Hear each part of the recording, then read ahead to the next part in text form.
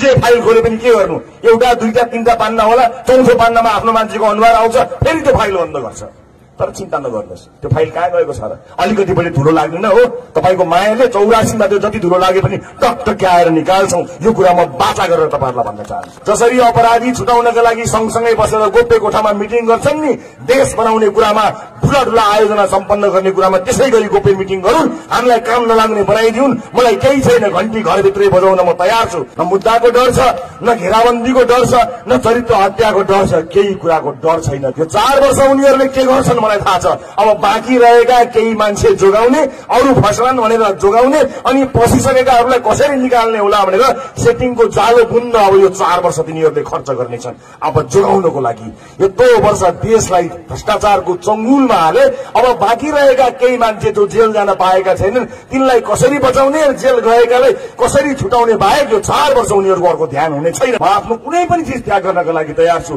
कुनै पनि किसिमका कुनै भ्रष्टसँग कहिले पनि सम्झौता गर्दिन कुनै पनि किसिमका गलत क्रियाकलाप आफू र आफ्नो पार्टीबाट हुन दिन कसैले गरेमा बहत्तर घण्टा धेरै भयो चौबिस घण्टा बाह्र घण्टा छ घण्टा एक घण्टाभित्र पनि कारवाही गर्ने ल्याकत राखेर पार्टी अगाडि बढेको छ। यहाँहरूले चिन्ता गर्न पर्दैन।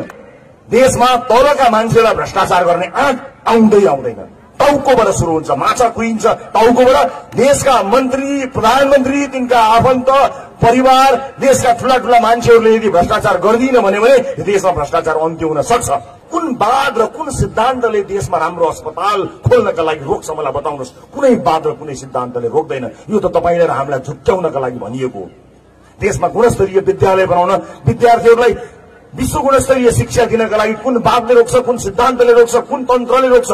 केहीले पनि रोक्दैन। मात्र यिनीहरूको बाहनाबाजी हो जनता बिरामी पर्दाखेरि घरखेत बेच्न पर्ने यिनलाई हाक्छु आउँदा सिंह दरबार उपचार गर्न पाउनुपर्ने यो हिसाब मिल्दैन। यो हिसाब गलत हो। यो हिसाब परिवर्तन गर्नुपर्छ। त्यसपछि व्यवस्थाको कुरा गरौँला आवश्यक परे। त्यसपछि वादको कुरा गरौँला सिद्धान्तको कुरा गरौँला तन्त्रको कुराकानी गरौँला। गृह मन्त्रालय अन्तर्गत जति सुशासनका स्टेपहरू चालिएका छन् सम्माननीय प्रधानमन्त्रीको मार्गनिर्देशन आड भरोसा र परामर्शमा नै ती सम्भव भएका छन् र हुने गरेका छन्। र हामी अगाडि बढिराखेका छौँ र ओभरअल पनि सरकारको नेतृत्वको हैसियतले कमरेड प्रचण्डले यो दिशामा अहिले नयाँ पहल कदमी गरिराख्नु भएकै छ। हामीले त्यसलाई देखाएको छौँ। परिणाममा अझै केही आउँदै जाने नै छ। देश बर्बादीको दिशातिर जाने खतरा छ। त्यस कारण यो कार्यभारको पुरा गर्ने नेतृत्व देशको कमरेड प्रचण्डले नै गर्न सक्छ भनेको अहिलेको यथार्थ हो। अध्यक्ष कमरेड प्रचण्ड हामीसँगै हुनुहुन्छ। र उहाँका आलोचना नगर्ने वा कमी कमजोरी नगर्ने मैले को समीक्षा नगर्ने मैले भनिराखेको छैन। उहाँको पनि आलोचना हुनसक्छ। कमी कमजोरीको बारेमा टिप्पणी हुनसक्छ। तर अध्यक्ष कमरेडको नेतृत्वमा नै यो पहल पनि अहिले बढाएर मात्रै सम्भव हुने भएको हुनाले नेतृत्वलाई बलियो बनाएर त्यो नेतृत्वको वरिपरि एकताबद्ध भएर यो दुईटा कार्यभार राष्ट्रिय कार्यभार र पार्टी पुनर्निर्माण र क्रान्तिकारीकरणको कार्यभार पुरा गरौँ। आज जनयुद्धको सन्दर्भमा ऐतिहासिक सम्बोधन यहाँ हाम्रो श्रद्धेय अध्यक्ष कमरेड प्रचण्डले नै गर्नुहुँदैछ। चारवटा कार्यभार के हो त हाम्रो? भन्दाखेरि हाम्रो राष्ट्रिय सार्वभौमिकता भौगोलिक अखण्डता स्वाधीनता स्वाभिमान र हितको रक्षा गर्नु र राष्ट्रिय एकतालाई त्यसको निम्ति बलियो बनाउनु पहिलो कार्यभार दोस्रो कार्यभार हाम्रो अहिलेको उपलब्धिको रक्षा गर्नु र यसलाई अझ बलियो बनाउनु। सङ्घीय लोकतान्त्रिक गणतन्त्र समाजवाद उन्मुख समावेशी लोकतन्त्रलाई सुदृढ बनाउनु यसलाई अझ बलियो बनाउनु रक्षा गर्दै अझ बलियो बनाउनु हो र यसलाई अझ उन्नत दिशातिर लैजानु हो। जसको निम्ति प्रतिगमन विरुद्धको सङ्घर्ष पनि हामीले गऱ्यौँ र यसको रक्षा गरेर यहाँसम्म आइपुगेका छौँ। अहिले पनि एउटा वा अर्को रूपमा यसमाथि आक्रमण भइरहेछ। त्यो आक्रमणबाट यो उपलब्धिको रक्षा गर्दै अगाडि बढ्नु छ। तेस्रो र केन्द्रीय कार्यभार। आज हाम्रो यो राजनीतिक परिवर्तनलाई सामाजिक आर्थिक क्षेत्रमा विस्तारित गरेर सामाजिक आर्थिक रूपान्तरण गर्नु हो विकास र समृद्धिको प्रक्रिया तीव्रता प्रदान गरेर फर्कोको बिन्दुमा पुर्याउनु। छताछुल्ल छ पर्दाफास भएको छ कि बौद्धिक चोरी गरिएको छ प्लेजरिजमको मुद्दामा परेको छ टर्कीबाट टर्कीको प्रोफेसरको आर्टिकल हुबहु कपी गरेको व्यक्ति कसरी सूचीकृत हुन्छ? उहाँकै पूर्व कार्यकाललाई किन मूल्याङ्कन गरिएको छैन? रिडु गर्नुपर्छ रिभिजिट गर्नुपर्छ भनेर म यहाँ राख्न चाहन्छु। यदि सिफारिस कमिटीले आवेदन माग्नुलाई नै एउटा मात्रै प्रक्रिया सोचेको हो भने यो गलत भइसकेको छ। खेलाची जस्तो सोच्यौँ भने विश्वविद्यालय धराशायी हुनु त छँदैछ। विश्वविद्यालयमा ए बौद्धिक चोरी पो गर्न पर्दो रहेछ भन्ने हामीले के सिकाउन खोजेका हौँ? कस्तो खालका प्रडक्टहरू हामी निकाल्छौँ त्यस्तो युनिभर्सिटीबाट। कोही भ्रष्टाचारको मुद्दामा फस्नु भएको छ कोही सूचना लुकाएको भनेर सूचना आयोगले कारवाही गरेको अवस्था छ। यस्ता यस्ता व्यक्तिलाई हामी भिसी दिन्छौँ भने कस्ता व्यक्ति चाहिँ हामीले उत्पादन गर्न खोजिरहेका छौँ? रद्दीको टोकरीमै नै फाल्ने हो भने त्यो सुझाव किन लिइयो भन्ने प्रश्न चाहिँ हाम्रो समितिले प्रधानमन्त्रीज्यूसँग राख्न सक्नुपर्छ। हामीले विश्वविद्यालयहरू राजनैतिक हस्तक्षेपबाट टाढा राखिनुपर्छ राजनैतिक संरक्षणबाट टाढा हुनुपर्छ भनिरहँदाखेरि राजनैतिक हिसाबले प्रष्ट खुलेका सार्वजनिक स्तरमै खुलेका र राजनैतिक दलहरूबाट टिकटसम्म पाएका निर्वाचनमा टिकटसम्म पाएका व्यक्तिहरू कसरी सूचीकृत हुन पुगे? प्रधानमन्त्रीज्यूले स्वयं एक्सपर्ट कमिटीलाई एक्सपर्ट केही विज्ञहरूलाई शिक्षाविदहरूलाई बोलाएर सोध्नुभयो। बुझ्नुभयो सुझाव लिनुभयो निकै सकारात्मक पक्ष थियो। तर उहाँहरूबाट लिएको सुझाव कहाँ गयो? रद्दीको टोकरीमै नै फाल्ने हो भने त्यो सुझाव किन लिइयो? भन्ने प्रश्न चाहिँ हाम्रो समितिले प्रधानमन्त्रीज्यूसँग राख्न सक्नुपर्छ। एक दोस्रो नम्बरमा हामीले सर्च कमिटी अथवा सिफारिस कमिटी बनायौँ यदि त्यसले त्यो कमिटीले साँच्चै योग्यता क्रमको आधारमा मेरिटोक्रेसीको आधारमा छनौट गरेर चौधजना ल्याएको हो भने बौद्धिक चोरीलाई कति नम्बर दिएको हो? भ्रष्टाचारको मुद्दा चलेकोलाई कति नम्बर दिएको हो? नेगेटिभ मार्किङ भयो कि पोजिटिभ मार्किङ भयो यहाँ गलत गलत क्रियाकलापहरूलाई? पूर्व भिसी हुँदै गर्दाखेरि पूर्व कार्यकालमा उसले गरेका गतिविधि अब्युज अफ अथोरिटी अधिकारको दुरुपयोग गरेका त्यस्ता गतिविधिलाई कति मार्क्स दियो? सिफारिस कमिटीले। यसमा त सिफारिस कमिटीले जुन हिसाबले सिफारिस गर्यो त्योभन्दा अगाडि अरू कुरा गरेर हुँदैन। आज भर्खरै यहीँ कोही बिरामी पर्यो कुनै परिवारको आफन्त सिकिस्त बिरामी भयो ठुलो रोग लाग्यो भने घरबार बेच्न पर्ने अवस्थाको अन्त्य गर्नको लागि कुनै वादले कुनै सिद्धान्तले रोक्दैन। हाम्रो पहिलो प्राथमिकता यही हो। सबभन्दा पहिला भ्रष्टाचार फाल्ने भ्रष्टाचारीलाई फाल्ने यही हो हाम्रो पहिलो लिस्ट। एक नम्बरको हामीलाई आवश्यक संख्यामा तपाईँले पठाएर हेर्नुहोस्। एकपटक विश्वास गर्नुहोस्। चौतिस चौतिस वर्षसम्म तपाईँले पुराना दललाई विश्वास गर्नुभयो। दलहरूले केही पनि गरेनन् म भन्दिनँ। गरे व्यवस्था परिवर्तनमा तिनको अतुलनीय योगदानको मैले सधैँ मुक्त कण्ठले प्रशंसा गरेको छु। मैले त्यसका लागि उनीहरूलाई अपमानित गरेको छैन। तर भ्रष्टाचारमा मुलुकलाई दुर्गन्धमा पुर्याउने काम पनि उनीहरूले गरेको हुनाले उनीहरूले गरेको नराम्रोलाई नराम्रो र राम्रोलाई राम्रो भन्दै आएको छु। योग्य उम्मेद्वार आयो भने हामीलाई नै दिनुपर्छ भन्ने छैन पूर्ववर्त साथीहरूले भनिसक्नु भएको छ। हामी सकेसम्म योग्यतम उम्मेद्वार खोजीमा हिँडेका छौँ। हाम्रो पार्टीमा सहभागी हुनको लागि राजनीतिमा तिसौँ चालिसौँ वर्ष बिताएको पनि हुनु पर्दैन हाम्रो पार्टीमा सुरुदेखि घन्टी नै बजाएको पनि हुनुपर्छ भन्ने छैन। कुनै पनि योग्य मान्छे हामीले अवधारणा अनुसार ल्याएको उम्मेद्वार क्लबका माध्यमबाट सहभागी हुन सक्छ। तर प्रत्येक स्थानीय निकायमा वडा वडामा होनहार मान्छेलाई हामीले जिताएनौँ भने बर्बादीतर्फ जान्छ। त्यो रोक्नका लागि हामी एक सय एक उम्मेद्वारको खोजीमा छौँ तयारीमा छौँ। यहीँ उपस्थित भएका कैयौं मान्छेहरू यहाँका उम्मेद्वार हुन् यहाँका वडा अध्यक्ष हुन् यहाँका पालिका प्रमुख उपप्रमुख हुन् संघीय सांसद हुन् आँट गर्नुहोस् जसरी हाम्रा सांसदहरू आँट गरेर आएका छन्। राष्ट्रिय स्वतन्त्र पार्टीका देशको सबैभन्दा कान्छी उम्मेद्वार निशा डाङ्गीलाई पनि अगाडि सारिरहेको पार्टी हो। यो देशकै सबैभन्दा कान्छी उम्मेद्वार अहिले हाम्रो कान्छी सांसद हाम्रो पार्टीमा छिन्। त्यो उमेर समूह अहिले देशमा भविष्य नदेखेर विदेशमा कहाँ जाने होला कहाँ कुन एजेन्सीमा गएर पासपोर्ट बुझाउने होला कुन देशको भिजा लगाउने होला र बाबाआमालाई कुन घर र कुन खेतलाई बन्दकी या बेचौँ भनेर भन्ने होला भनेर हिँडिरहेका बेलामा हुनहार हाम्रा सांसदहरू तपाईँ हेर्नुहोला उनीहरू यो देशको भाग्य बदल्नको निमित्त आँट गरेर हिँडेका छन् र हाम्रो पार्टीमा सबैभन्दा धेरै महिला दिदीबहिनीहरू उम्मेद्वार थिए। भर्खरै जन्मिएको पार्टीले सबैभन्दा बढी महिला उम्मेद्वार राखेको थियो। ती महिला दिदीबहिनीहरू आज सदनबाट पनि कोही भन्दा कम नभएर अगाडि बढिरहेका छन्। तपाईँले हेरिरहनु भएको छ। हो हामीले आँट गर्नुपर्छ साहस गर्नुपर्छ। हामी देश चलाउन सक्ने एकदमै योग्य होनहार मान्छे सबैभन्दा चुनिएका उत्कृष्ट हो होइन हामीलाई थाहा छैन। तर देशको गए गुज्रिएको हालत दिनानुदिनको भ्रष्टाचार अनि लाजै नपचाइकन माला र खादाले पुरिएर हिँडेका नेताहरूको अनुहार हेर्न नसकेर यो खेल बदल्नुपर्छ भनेर राजनीतिमा आएका हौ यो खेल बदलिन्छ। देशमा परिवर्तन सम्भव छ। तर आँट गर्नुपर्छ डराउनुहुन्न पुच्छर लुकाउनुहुन्न हार्नुहुन्न लुक्नुहुन्न छाती चौडा पार्नुपर्छ शिर ठाडो पार्नुपर्छ आँखामा आँखा जुदाउनुपर्छ गल्ती गर्नुहुन्न न डराउनु नबिराउनु र नडराउनु। कयौं परिस्थितिको बावजुद पनि यहाँ उभिएको छु। आज यसरी तपाईँको अगाडि उभिएर हिँड्ने साहस आँट तपाईँले दिनुभएको हो। एउटै पीरले मान्छेलाई थला पार्छ। मान्छे एउटै पीरको भुमरीमा जिन्दगीबाट थाकेर हारेर चुपचाप बसेको हुन्छ। मैले जीवनमा अनेकौं पीरहरूको सामना गर्नु पर्यो।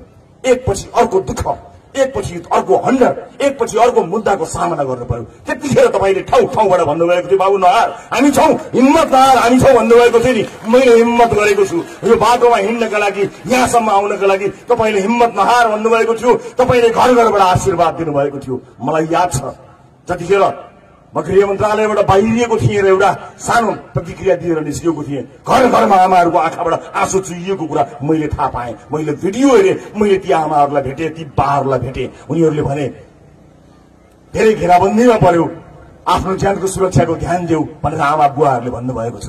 मैले आमा बुवाहरूलाई भनेको छु मलाई कुनै परवाह छैन। म त्यो पीर त्यो व्यथा र व्यक्तिगत स्वार्थ र व्यक्तिगत कुनै चिज प्राप्त गर्नका लागि हिँडेको पनि होइन। भगवानको कृपाले आफ्नो मेहनत र परिश्रमले एउटा आम सर्वसाधारण मान्छेले पाउनुपर्ने सबै चिज प्राप्त गरेर आएकै मान्छे हुँ। तर एउटा पुस्ताले त्याग नगरिकन मुलुक बन्दैन भनेर अघि मैले भनेको जस्तै म त्याग गर्नका लागि आएको मान्छे हुँ। म आफ्नो कुनै पनि चिज त्याग गर्नका लागि तयार छु। कुनै पनि किसिमका कुनै भ्रष्टसँग कहिले पनि सम्झौता गर्दिन। कुनै पनि किसिमका गलत क्रियाकलाप आफू र आफ्नो पार्टीबाट हुन दिन कसैले गरेमा बहत्तर घण्टा धेरै भयो। चौबिस घण्टा बाह्र घण्टा छ घण्टा एक घण्टाभित्र पनि कारवाही गर्ने ल्याकत राखेर पार्टी अगाडि बढेको छ। यहाँहरूले चिन्ता गर्न पर्दैन। गत निर्वाचनमा समय थिएन। यहाँ पनि म आउन पाइनँ। निर्वाचनमा मात्र होइन। केही समय अगाडि नजिकैको पालिकामा कार्यक्रम राखिएको थियो। शुक्ल गण्डकीमा कार्यक्रम राखिएको थियो। अन्य विभिन्न ठाउँमा कार्यक्रम राखिएको थियो। त्यहाँ पनि म आउन पाइनँ। किनभने त्यतिखेर हाम्रा धेरै दाजुभाइ दिदीबहिनीहरू इजरायलमा जीवन गुमाउन विवश भएका थिए। नेपाली दाजुभाइ दिदीबहिनीहरूले जीवन गुमाएको त्यो बेलामा म भेला गरेर जम्मा गरेर भाषण दिन सक्ने त्यस्तो साहस बटुल्न सकिनँ त्यस कारणले म आउन सकिनँ। म त्यसका लागि सिङ्गो प्रदेशका कार्यक्रमका सभाका आयोजक साथीहरू र आम आमा बुवा दाजुभाइ दिदीबहिनीहरूसँग आज क्षमा चाहन्छु। त्यो अवस्था नै त्यस्तै थियो। इजरायलमा नेपाली दाजुभाइहरू मारिएको त्यो घटनाले गर्दा हामीले केही दिन कार्यक्रम गर्न सकेनौं। त्यसले गर्दा कयौं तयारीहरू खेर गयो कयौं साथीहरू आएर फर्किनु भयो कयौं स्रोत साधनको खर्च भयो। म फेरि पनि क्षमा चाहन्छु। उपस्थित आमा बुवा दाजुभाइ दिदीबहिनीहरू मैले आज भनेका कुराहरू नयाँ कुराहरू होइनन्। यो कुराहरू तपाईँले नबुझेको कुरा होइन। चौतिस वर्षमा यो देशमा के भयो के भएन तपाईँलाई राम्रोसँग थाहा छ। ताकि यो राजनीतिक परिवर्तन राजनीतिक अधिकारमा मात्रै सीमित छैन। यो राजनीतिक परिवर्तन त आम जनताको जनजीविकाका समस्याहरू समाधान गरेर देशलाई नयाँ समुन्नत बिन्दुमा पुर्याउनु हो भन्ने हाम्रो आजको केन्द्रीय कार्यभार हो। यो कुरा हामी सरकारमा आएपछि मात्र भनिराखेका छैनौँ। हामीले जुन बेलामा पार्टीको निर्वाचन घोषणापत्र जारी गऱ्यौँ पार्टीको निर्वाचन घोषणापत्रमा हामीले लेखेका छौँ आजको केन्द्रीय कार्यभार हाम्रो आर्थिक समृद्धिमा क्रमबङ्गता हो। ऐतिहासिक राजनीतिक परिवर्तनपछि सामाजिक आर्थिक रूपान्तरको क्षेत्रमा विकास र समृद्धिको क्षेत्रमा केही न केही भए तर त्यो हाम्रो राजनीतिक परिवर्तनमा अन्तर्निहित निर्देश र जनताको आवश्यकता र अपेक्षा अनुसार भएन। त्यस कारणले अब हाम्रो ऐतिहासिक कार्यभार भनेको यो समृद्धिको यात्रालाई तीव्र पार्न क्रमभङ्ग बनाउनु हो र जनताको शिक्षा स्वास्थ्य रोजगारी खाद्यान्न आवास बाटाघाटा सञ्चार बिजुली खानेपानीका आवश्यकताहरू पुरा गरेर जनताले यो परिवर्तनबाट हामीले राजनीतिक अधिकार त पायौँ पायौँ। त्यति मात्र होइन हाम्रो जीवनै फेरेर हामीले नयाँ जीवन पायौँ भन्ने अनुभूति गराउनु हो। त्यसको निम्ति हामीले अगाडि बढिराखेका छौँ। त्यसलाई केन्द्रीय कार्यभार बनाएर त्यसै अन्तर्गत सम्माननीय प्रधानमन्त्रीको रूपमा पदभार ग्रहण गरेकै दिनमा कमरेड प्रचण्डको तर्फबाट सरकारको नेतृत्वको हैसियतमा उद्घोषण भएको थियो कि आजको हाम्रो कार्यभार सुशासन सामाजिक न्याय र समृद्धि हो। सुशासन पूर्व शर्त समृद्धिको। समृद्धि पनि कस्तो प्रकारको समृद्धि त भन्दाखेरि जनमुखी समृद्धि जसले सामाजिक न्याय स्थापित गर्नुपर्छ त्यही आधारमा हामी अगाडि बढ्ने पहल कदमी भयो र त्यही आधारमा अहिले हामी काम अगाडि बढिराखेका छौँ। म एउटा कुरा पनि प्रश्न पार्न चाहन्छु। गृह मन्त्रालय अन्तर्गत जति सुशासनका स्टेपहरू चालिएका छन् सम्माननीय प्रधानमन्त्रीको मार्गनिर्देशन आड भरोसा र परामर्शमा नै ती सम्भव भएका छन् र हुने गरेका छन् र हामी अगाडि बढिराखेका छौँ र ओभरअल पनि सरकारको नेतृत्वको हैसियतले कमरेड प्रचण्डले यो दिशामा अहिले नयाँ पहल कदमी गरिराख्नु भएकै छ। हामीले त्यसलाई देखाएको छौँ। परिणाममा अझै केही आउँदै जाने नै छ। र यस प्रकारले हामी तेस्रो कार्यभारलाई केन्द्रीय कार्यभार अगाडि बढिराखेका छौँ भने चौथो कार्यभार हाम्रो चाहिँ शान्ति प्रक्रियाको बाँकी काम पुरा गर्नु हो। सङ्क्रमणका न्यायसँग सम्बन्धित काम सत्य निरूपण मेलमेल आएको काम बेपत्ता छानबिन आएको कामलाई पुरा गर्नु छ। त्यसको निम्ति संसदमा अहिले त्यस सम्बन्धी विधेयक संशोधन प्रक्रिया छ। त्यसलाई हामीले सकेसम्म राष्ट्रिय सहमतिको आधारमा पारित गरेर हामी फेरि यो आएको गठनलाई नयाँ ढङ्गले पूर्णता दिएर यो कार्यभार पुरा गर्न पर्दछ। अध्यक्ष कमिटीको सोच र हाम्रो पार्टीको सोच अहिले के छ भने धेरथोर सम्झौता गर्नु पर्यो राष्ट्रलाई कुनै घाट नहुने गरी सम्झौता गर्न परे पनि गरेर यो शान्ति प्रक्रिया चाहिँ यसपटक पुरा गर्नै पर्छ हर हालतमा पुरा गर्नुपर्छ भन्ने दृष्टिकोण र प्रतिबद्धका साथ हामी अहिले काम गरिराखेका छौँ। र अहिले यो चारवटा कामहरू पुरा गर्ने दिशातिर हामी जान नसके हो भने अहिलेको भू राजनीतिक परिवेश र हाम्रो भू राजनीतिक अवस्थिति जस्तो छ त्यो संविधानले पैदा पैदा गरेको राष्ट्रिय चुनौती राष्ट्रियताको चुनौती र अरू चुनौतीहरूलाई चिर्न सकिँदैन। अहिले देशलाई अगाडि बढाउनलाई हामीले त नेतृत्वहरू देखिसकेका छौँ। यो चारवटा राष्ट्रियवार कार्यभार पुरा नगर्ने हो भने देश बर्बादीको दिशातिर जाने खतरा छ। त्यस कारण यो कार्यभारको पुरा गर्ने नेतृत्व देशको कमरेड प्रचण्डले नै गर्न सक्छ भनेको अहिलेको यथार्थ हो। यो यथार्थकै आधारमा अहिले सरकारको हामी नेतृत्व गरिराखेका छौँ। हामीले नत्र भए हाम्रो देशलाई नै केही नहुने हाम्रो पार्टीलाई हाम्रो आन्दोलनलाई मात्रै असर पर्ने भए पनि फेरि बनाउँदै जाउँला आन्दोलन फेरि गर्दै जाउँला भन्नुहुन्थ्यो। हाम्रो देशको अहिलेको विशिष्टताको सापेक्षतामा यसलाई सकारात्मक दिशातिर अगाडि बढाएर राष्ट्र बचाएर समृद्धिको दिशातिर देशलाई लगेर शान्ति प्रक्रिया पुरा गर्नको निम्ति अध्यक्ष कमल प्रचण्डको नेतृत्वमा नै अहिले सम्भव छ आवश्यक छ। त्यसैले हामी यो कुरा चाहिँ गहिराइपूर्वक बुझ्न जरुरी छ। यो खालि हाम्रो पार्टीको निम्ति हाम्रो आन्दोलनको निम्ति मात्रै हामीले भनेको कुरा होइन? यो यथार्थ हो देशको निम्ति। देश बचाउन र यसलाई सही दिशामा लैजान त्यो नेतृत्वको आधारमा हामी काम गर्नुपर्ने आवश्यकता छ। दोस्रो त्यसको निम्ति हाम्रो पार्टी चाहियो हामीलाई। यो चारवटा राजनीतिक कार्यभार र रणनीतिक रूपमा समाजवादी क्रान्तिको कार्यभार पुरा गर्नको निम्ति हामीलाई हाम्रो पार्टी चाहियो। तर हाम्रो पार्टी तुलनात्मक रूपले सबभन्दा राम्रो पार्टी हो। सबभन्दा अग्रगामी पार्टी हो त्यसमा कुनै शङ्का छैन। तर यो चारवटा चारवटा राजनीतिक कार्यभार र समाजवादी क्रान्तिको रणनीतिक कार्यभार पुरा गर्नको निम्ति हाम्रो पार्टीको यथास्थितिबाट पनि सम्भव छैन भन्ने हाम्रो निष्कर्ष छ। हाम्रो यथास्थलाई भत्काउनै पर्छ र हाम्रो पार्टीलाई रूपान्तर पुनर्गति सत्रमा लगेर हामीले क्रान्तिकारी एकताबद्ध र शक्तिशाली पार्टी बनाउनै पर्छ। त्यस आधारमा हाम्रो पार्टीको अहिलेको मुख्य कार्यभार वैचारिक सांस्कृतिक रूपान्तरणको कार्यभार हो पार्टीको क्रान्तिकारीकरण र पुनर्गठनको कार्य कार्यभार हो र पार्टीको शक्ति सुदृढीकरणको कार्यभार हो। यो कार्यभार पुरा गर्न पनि हाम्रो पार्टीले अध्यक्ष कमलको नेतृत्वमा नै पहल कदमी अगाडि बढाएको छ। त्यस क्रममा अहिले हामीले केही अगाडि आठौँ महाधिवेशन गऱ्यौँ विचारको एउटा अलिकति लिक हामीले ट्र्याक सही गऱ्यौँ। त्यसलाई विकास गर्न राष्ट्रिय विशेष महादेशमा जानुपर्छ भनेका छौँ। त्यसको प्रक्रियामा हामी छौँ। त्यस पछाडि हामीले अहिले सरकारको नेतृत्व गर्ने ठाउँमा पुग्यौँ। त्यसपछि अहिले विशेष अभियान पार्टीको चलायौँ। रूपान्तरण अभियान। त्यसपछि हामी यो विधान सम्मेलन गर्दैछौँ र यो विधान सम्मेलन पछाडि हामीले चाहिँ राष्ट्रिय महादेशको प्रक्रियामा अगाडि बढ्छौँ। यसको सारा उद्देश्य पार्टीको त्यो चारवटा पाँचवटा भने पनि मूलभूत रूपमा दुईवटा हो। एउटा चाहिँ सामाजिक आर्थिक रूपान्तरणको निम्ति सामाजिक न्याय क्षेत्रको समृद्धि वा समाजवादको आधार तयार पार्ने मूल कार्यनीति रणनीतिक रूपमा समाजवादी क्रान्ति सम्पन्न गरेर समाजवाद निर्माण गर्ने कार्य रणनीति यो कार्यभार पुरा गर्नका निम्ति हाम्रो पार्टीले मात्र नेतृत्व गर्न सक्छ तर हाम्रो पार्टीलाई यथास्थितिमा राखेर त्यो सम्भव छैन। त्यस कारणले हाम्रो पार्टी अध्यक्षको नेतृत्वमा रूपान्तर र पुनर्गठनको प्रक्रियामा जानै पर्छ। त्यसको निम्ति अहिले हामी नयाँ पहलको निम्ति अगाडि बढाइराखेका छौँ र त्यसलाई हामीले पुरा गर्नै पर्छ। यो पुरा गर्ने सङ्कल्प गर्ने दिन हो आज यो जनयुद्ध दिवस यसमा यताउता निराशा बोकेर हुँदैन। निष्ठियता बोकेर पनि हुँदैन। हाम्रा थुप्रै समस्याहरू छन्। हामी त्यसलाई पार गर्न सक्दैनौँ भन्ने होइन। हामीले पार गर्ने सङ्कल्प गर्नुपर्छ ताकि जनयुद्धका उद्देश्य जति बाँकी छन् त्यसलाई पुरा गर्न सकियोस्। क्रान्तिकारीहरूले गरेको जनआन्दोलनको उद्देश्य जति बाँकी छ त्यसलाई पुरा गर्न सकियो त्यसको निम्ति आज सङ्कल्प गरौँ गर्व गरौँ कि जनयुद्धको नेतृत्व गर्नेदेखि शान्ति प्रक्रियाको नेतृत्व गर्ने संविधान निर्माणको प्रक्रियाको नेतृत्व गर्ने वामपन्थीहरूको फेरि नयाँ रणनीति अन्तर्गत क्रान्ति समाजवादको दिशातिर अगाडि बढ्नुको निम्ति पहल कदमी गर्ने नेतृत्व र अहिले सरकारको नेतृत्व पार्टी रूपान्तरको अभियानको नेतृत्व गरेको अध्यक्ष कमल प्रचण्ड हामीसँगै हुनुहुन्छ।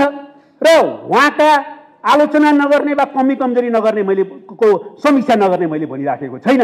उहाँको पनि आलोचना हुनसक्छ कमी कमजोरीको बारेमा टिप्पणी हुनसक्छ तर अध्यक्ष कमरेडको नेतृत्वमा नै यो पहल पनि अहिले बढाएर मात्रै सम्भव हुने भएको हुनाले नेतृत्वलाई बलियो बनाएर त्यो नेतृत्वको वरिपरि एकताबद्ध भएर यो दुईटा कार्यभार राष्ट्रिय कार्यभार र पार्टी पुनर्निर्माण र क्रान्तिकारीकरणको कार्यभार पुरा गरौँ। त्यसको निम्ति सङ्कल्प गर्न आह्वान गर्दै फेरि एकचोटि जनयुद्धको अवसरमा बधाई र शुभकामना दिँदै बिदा हुन्छु। धन्यवाद। हामीले पनि कहाँ कहाँ कमजोरी गऱ्यौँ अहिले अलि बढी हेपाई माओवादीलाई माओवादी आन्दोलनको नेतृत्वलाई माओवादीका एजेन्डालाई माओवादीले गरेको त्याग बलिदानका ऐतिहासिक र दूरगामी कृतिमानहरूलाई अपमानित गर्ने कोसिस तिनै शक्ति र तिनका वरिपरिका मान्छेहरूले गर्छन् सबभन्दा बढी त प्रतिक्रान्तिकारी प्रतिक्रियावादी सामन्तिक निरङ्कुशतावादीहरूले नै गरेका छन्। हामी हाम्रा हतियारहरू अलि भुत्ते भएका छन् यो बिचमा। ती हतियारलाई हामी सान लगाउन चाहन्छौँ र त्यो हतियारद्वारा प्रतिक्रान्तिकारी र प्रतिक्रियावादी षड्यन्त्रलाई परास्त गर्न चाहन्छौँ। मैले जीवनको यो उत्तरार्धमा पनि फेरि एकचोटि नयाँ क्रान्तितिर देशलाई लिएर जाने सङ्कल्प गरेको छु। कोही कमरेडहरू आउनुहुन्छ र तर्कसहित तथ्यसहित भन्नुहुन्छ भने मलाई फेरि नेतृत्वमा बसिराख्ने कुनै लोभ पनि छैन। यो कुरा पनि म प्रष्ट भन्न चाहन्छु। हिजोका राजा महाराजा र तिनका चाहिँ भरौटेहरू भन्छु म। ती बाहिर गणतन्त्रका विरुद्ध सङ्घीय लोकतान्त्रिक गणतन्त्रका विरुद्ध दुस्साहसपूर्ण ढङ्गका गतिविधि गर्ने जमर्को गर्दैछन्। हामी ठिक त्यस्तो बेलामा जनयुद्धको यो उन्तिसौँ दिवस मनाउँदैछौँ। माओवादी जनयुद्धका सहभागी सम्पूर्ण नेता कार्यकर्ताहरूलाई अब ढिलो नगरी हामी एउटै मोर्चामा र एउटै केन्द्रमा एकताबद्ध हुन अपिल गर्न चाहन्छु ढिलो नगरौँ। त्यति बेलाको सामन्ती निरङ्कुश राजाहरूको चङ्गुलबाट फुत्काउन सक्ने र उनीहरूलाई राजनीतिको रङ्गमञ्चमा फेरि एकचोटि लिएर आउन सक्ने तागत कसैले आर्जन गरेको थियो भने त्यो माओवादी नै थियो। ठोस परिस्थिति अनुसार नयाँ नयाँ नीति र कार्यक्रम विकास गर्न नसकेको भए जनयुद्ध परास्त हुने खतरा थियो। र पछिल्लो पटक पनि जति बेला सामन्ती निरङ्कुश तन्त्रले शान्तिपूर्ण राजनीतिमा रहेका राजनीतिक दलहरूलाई दमन गर्ने हिरासतमा राख्ने र उनीहरूले चलाइरहेको आन्दोलनमाथि दमन गर्ने नीति अप्नायो एकातिर। अर्को जनयुद्धलाई बाटो बिराएकाहरूको आन्दोलन अथवा बाटा बिराएकाहरूको गतिविधि भन्दै दमन गर्ने नीति अप्नायो त्यति बेला। जनयुद्ध नै र माओवादी लिडरसिप नै माओवादी पार्टी नै अन्य शान्तिपूर्ण सहकार्यमा रहेका राजनीतिक दलहरूको निम्ति पनि एउटा आशा र भरोसाको केन्द्र बनेकै हो। हामी कसैले पनि इतिहासको यो सच्चाइलाई बङ्ग्याउन छुट छैन। म अहिले धेरै त भन्न चाहन्न त्यो त्यस्तो परिस्थिति थियो। हामी जनयुद्धकारीहरू जो सहरमा हामी भूमिगत थियौँ तर पनि हामी जबरजस्त उपस्थितिमा थियौँ र देशभरि झन्डै अस्सी प्रतिशतभन्दा बढी इलाका हाम्रो नियन्त्रणमा थियो। र हामी देश विदेशमा लगातार सम्पर्क सम्पर्क सम्बन्धमा हुन्थ्यौँ। बिहानदेखि बेलुकासम्म हामी फोनमा कुरा गरिरहेका हुन्थ्यौँ सेटेलाइटबाट। तर शान्तिपूर्ण राजनीतिमा भएका राजनीतिक दलहरूको सम्पर्क सम्बन्ध सब विच्छेद थियो। मलाई सम्झना छ।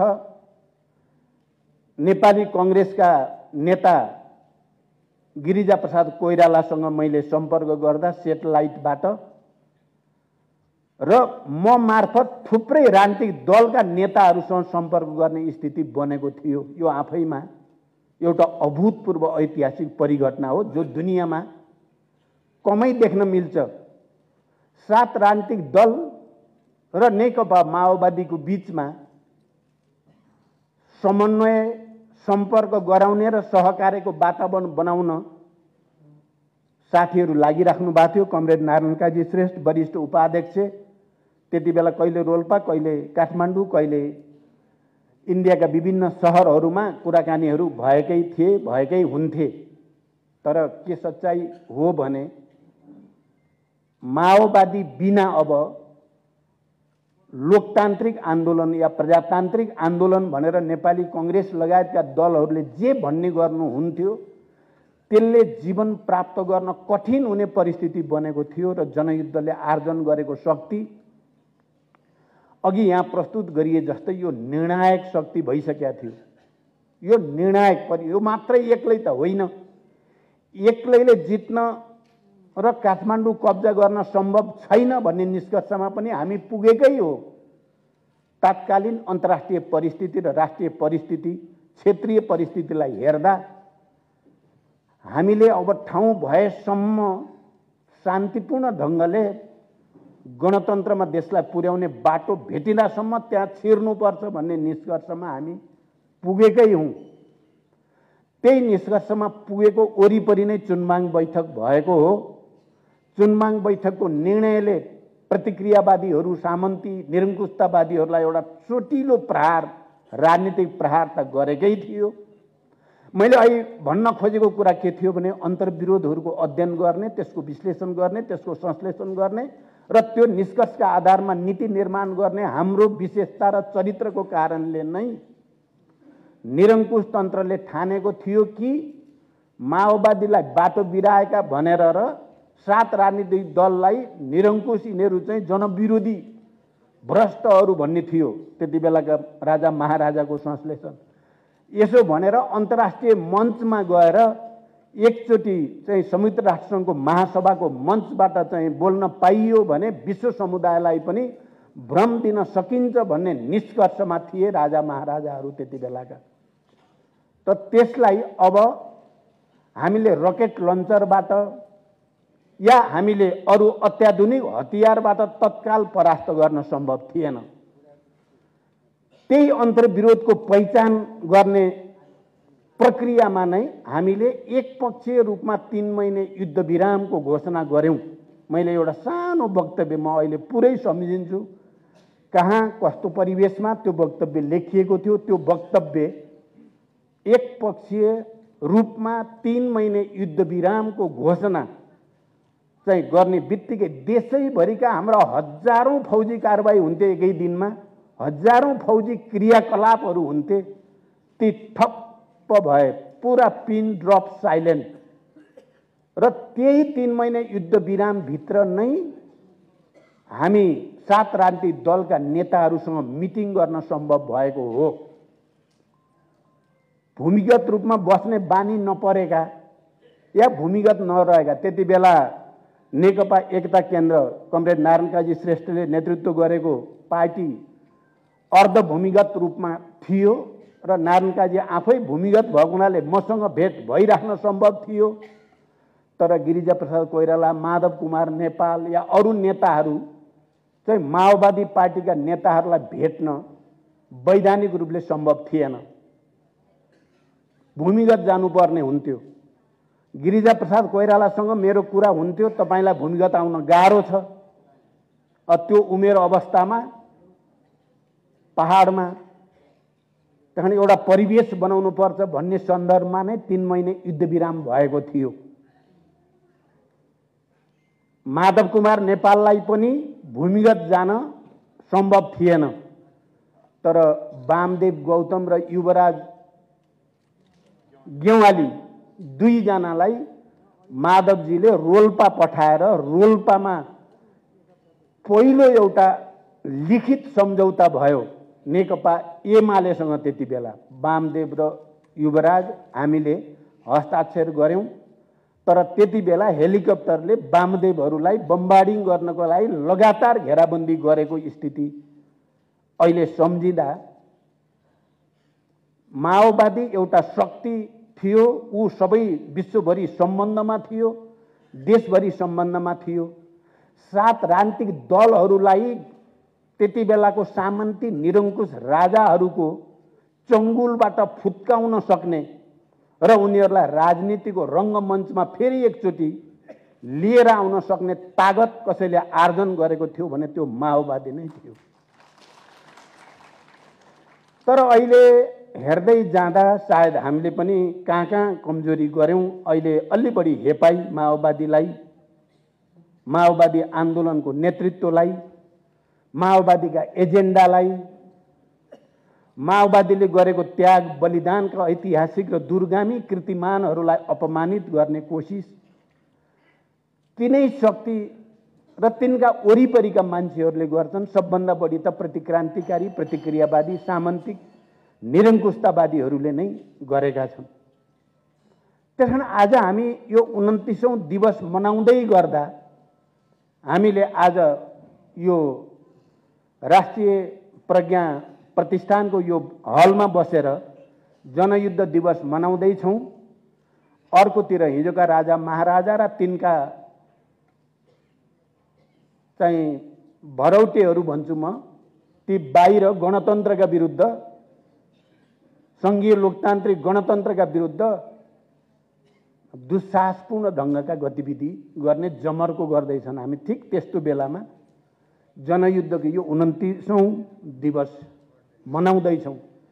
कारण कमरेडहरू म तपाईँहरू सबैलाई माओवादी केन्द्रका तमाम नेता कार्यकर्ताहरूलाई देशभरिका तमाम कार्यकर्ता र योद्धा कमरेडहरूलाई र आम जनसमुदायलाई विशेष रूपले अपिल गर्न चाहन्छु हाम्रो त्यो ऐतिहासिक दूरगामी कृतिमानहरू र यो महान र ऐतिहासिक परिवर्तनका पक्षमा एकचोटि फेरि हामी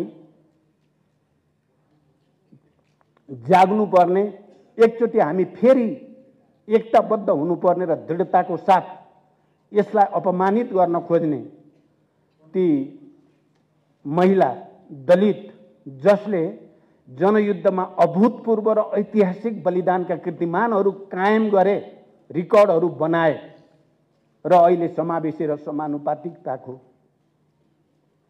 एउटा चरणको पहिचान र अधिकारको अभ्यास गर्दैछन् ती दलित महिलाहरू मधेसी आदिवासी जनजातिका विभिन्न समुदायहरू जसको सबभन्दा धेरै बलिदान भएको छ। सबै सबै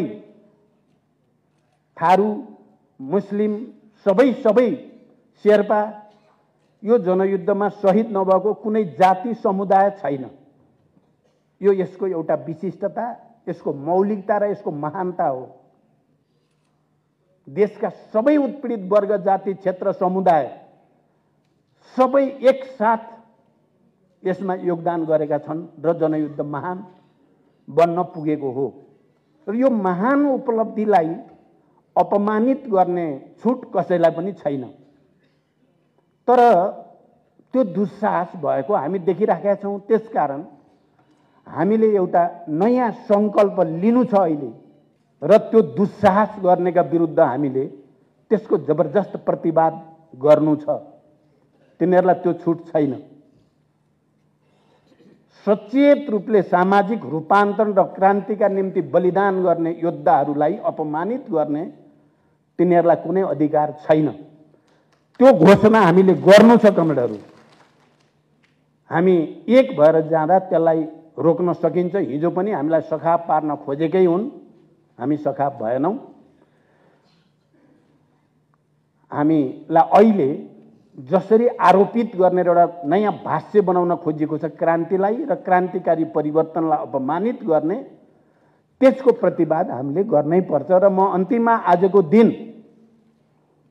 माओवादी जनयुद्धका सहभागी सम्पूर्ण नेता कार्यकर्ताहरूलाई अब ढिलो नगरी हामी एउटै मोर्चामा र एउटै केन्द्रमा एकताबद्ध हुन अपिल गर्न चाहन्छु।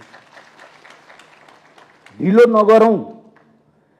जति ढिलो गर्यो त्यति ठुलो क्षति र यो राजनीतिक परिवर्तनप्रति त्यति ठुलो घाटा हुन सक्छ।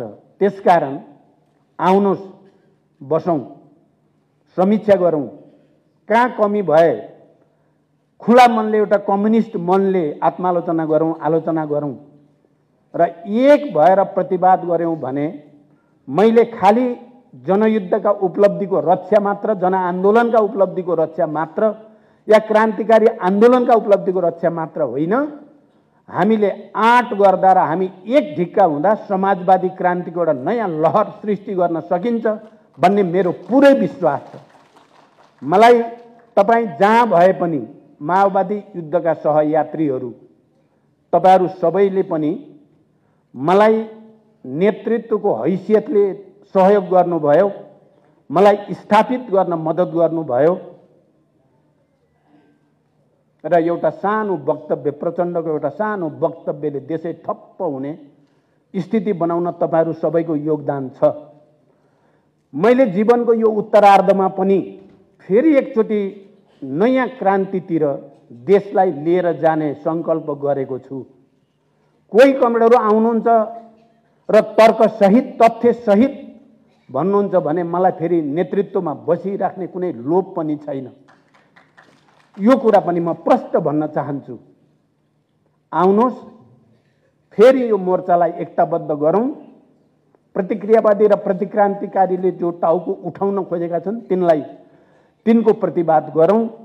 हामी सबै एक हौँ। अहिले राम्रो छ। हामीले एकातिर समाजवादी मोर्चा बनाएका छौँ। अर्कोतिर समान विचारका पार्टीहरू एकताबद्ध हुने कोसिस पनि गरिराखेका छौँ। त्यसकारण यो राम्रो अवसर हो। तपाईँ हाम्रो निम्ति एउटा राम्रो अवसर हो। सबै क्रान्तिकारीहरू एकै ठाउँमा केन्द्रित हुने यो राम्रो अवसर हो। प्रतिक्रियावादले टाउको उठाउन खोजेकोलाई त्यसका विरुद्ध जाइ लाग्ने पनि यो राम्रो अवसर हो। म यो अपिल गर्न चाहन्छु। र हामीले अघि यहाँ भनिए जस्तै अहिले पार्टीको मोर्चाबाट र सरकारको दुइटै मोर्चाबाट समाजवादको एउटा नयाँ अभियान सुरु गर्ने जमरको हामीले पक्कै गरेका छौँ। सुशासन सामाजिक न्याय र समृद्धिको अभियान समाजवादको भ्रूण रोप्ने अभियान नै हो। यसलाई तपाईँ हामीले कम्तीमा पनि क्रान्तिकारी हिजोका क्रान्तिकारी युद्धका सहभागीहरूले गहिरो गरी बुझ्न जरुरी छ।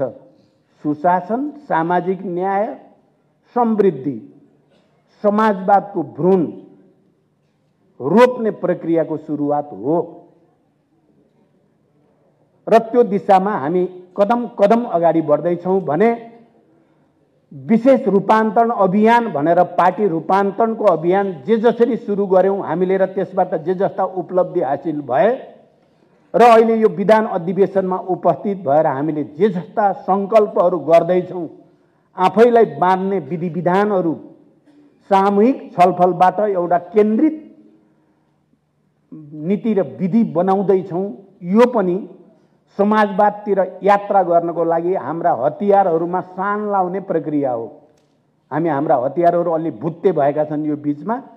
ती हतियारलाई हामी सान लगाउन चाहन्छौँ र त्यो हतियारद्वारा प्रतिक्रान्तिकारी र प्रतिक्रियावादी षड्यन्त्रलाई परास्त गर्न चाहन्छौँ।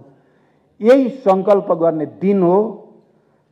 यही अपिल तपाईँहरूसँग र यो मञ्चबाट संसारभरिका क्रान्तिकारीहरूसँग गर्दै र फेरि एकचोटि उन्तिसौँ जनयुद्ध दिवसको उपलक्ष्यमा सम्पूर्ण क्रान्तिकारी र क्रान्तिकारी जनसमुदायप्रति हार्दिक बधाई र शुभकामना व्यक्त गर्दै बिदा हुन्छु। धन्यवाद। अभिवादन।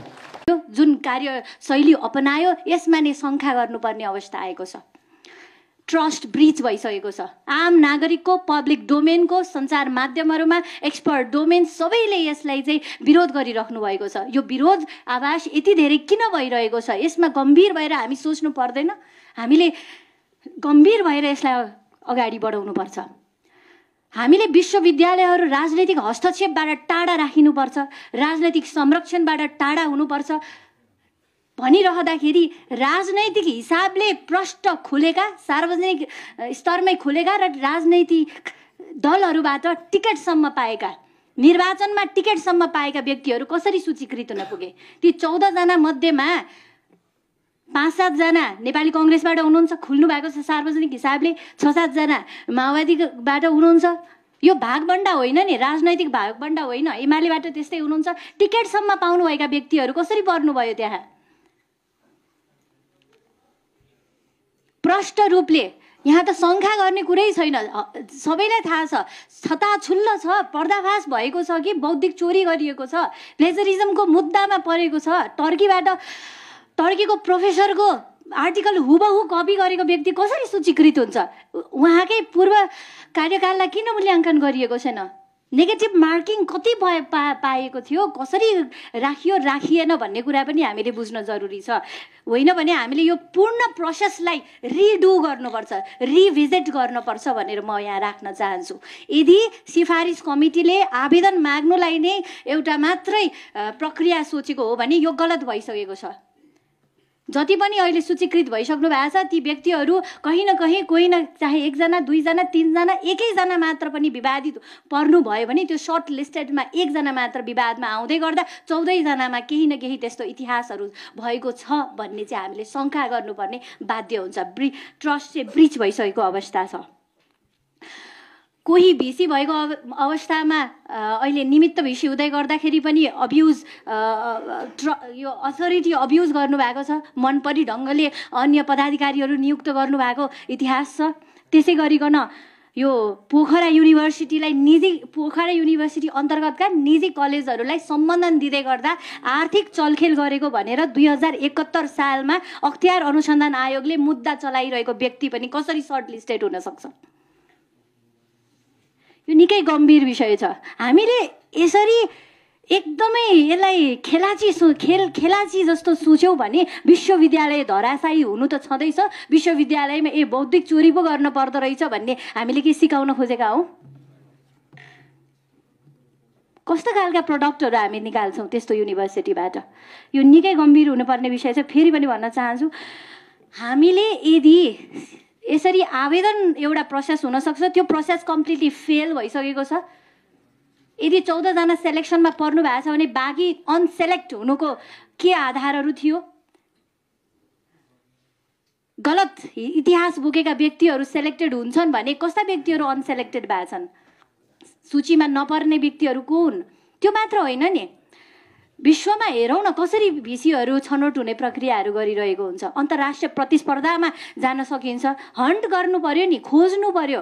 आवेदन नपरे आवेदन त त्रिचालिसजनाको मात्र पर्यो तर त्रिचालिसजना जो हुनुहुन्छ त्यहाँभन्दा बाहेक सयौँ व्यक्तिहरू हुनुहुन्छ जसले चाहिँ अकाडेमिक लिडरसिप प्रदर्शन गर्नुभएको छ। पहिला आफ्नो कार्यकालमा राम्रो गर्नुभएको भिसीहरू पनि हुनुहुन्छ। उहाँहरूलाई सोध्न पर्यो खोज्न पर्यो। होइन? अकाडेमिक इन्स्टिट्युसनहरू राम्रोसँग चलाइराख्नु भएको व्यक्तिहरू नेपालमा हुनुहुन्न भने नेपालभन्दा बाहिर जो नेपाली हुनुहुन्छ उहाँहरूलाई ल्याउनु पर्यो खोज्न पर्यो। खोजी नै देखिएको छैन मेहनतै देखिएको देखिएको छैन। सिफारिस समिति के को लागि बनेको हो? खोज्नको लागि हो नि त। सही व्यक्ति जो योग्य छ जो सार्वजनिक छविमा कहीँ पनि विवादमा परेको छैन कुनै पनि कन्ट्रोभर्सिजहरू आएको छैन मुद्दाहरू यस्ता चलेका छैनन्। इतिहास त क्लिन हुन पऱ्यो नि। क्लिन व्यक्तिलाई मात्र राख्न सकिन्छ भनेर हामीले चाहिँ गर्नु पऱ्यो। बरु बरु हामी ढिला गरौँ बरु समय लियौँ तर हामी गलत नगरौँ। गलत गर्न भएन। आम जनताको शिक्षामाथि खेलबाड गर्न भएन हामीले। कोही कसैले चाहिँ अझै यो सूचना लुकाएको भन्दै राष्ट्रिय सूचना आयोगले उनलाई जरिवाना तिराएको पनि इतिहास रहेछ। कोही बौद्धिक चोरीमा पर्नु भएको छ कोही भ्रष्टाचारको मुद्दामा फस्नु भएको छ कोही सूचना लुकाएको भनेर सूचना आयोगले कारवाही गरेको अवस्था छ। यस्ता यस्ता व्यक्तिलाई हामी भिसी दिन्छौँ भने कस्ता व्यक्ति चाहिँ हामीले उत्पादन गर्न खोजिरहेका छौँ? हामीले फेरि पनि म यहाँ आग्रह गर्न चाहन्छु यो शिक्षा स्वास्थ्य समितिको पनि एउटा जिम्मेवारी हुन्छ। त्रिभुवन विश्वविद्यालयमा गलत प्रक्रियाबाट गलत व्यक्तिलाई चाहिँ विश्वविद्यालय चलाउने साँचो दिन खोजिँदैछ भने यो समितिले गम्भीर भएर यसलाई रिडु गर्नको लागि सिफारिस गरोस्। प्रधानमन्त्रीज्यूलाई नै भेटेर बसेर उहाँसँग छलफलमा बसेर हामीले यसलाई रिडु गरेर पब्लिकबाट कहीँ पनि विवाद नहुने किसिमले यो प्रक्रियालाई फेरि अगाडि बढाउनुपर्छ हामीले गर्नुपर्छ भनेर भन्न चाहन्छु। व्यक्तिगत स्वार्थ नभएको राजनैतिक स्वार्थ नभएको कहीँ पनि धमिलिएको छवि नभएको विवादास्पद कार्यकाल नभएको व्यक्तिहरूलाई हामीले छानेर खोजेर ल्याउनु पर्छ आकाशबाट पातालबाट खोज्नु पर्ने होइन धरतीमै हुनुहुन्छ एकाडेमिक इन्स्टिट्युसनहरूमा हुनुहुन्छ काम गरिराख्नु भएको छ उहाँ व्यक्तिहरूलाई खोजेर ल्याउन सकिन्छ त्यसमा हामीहरूले पनि सघाउन तयार छौँ भनेर भन्न चाहन्छु। हस् नमस्कार।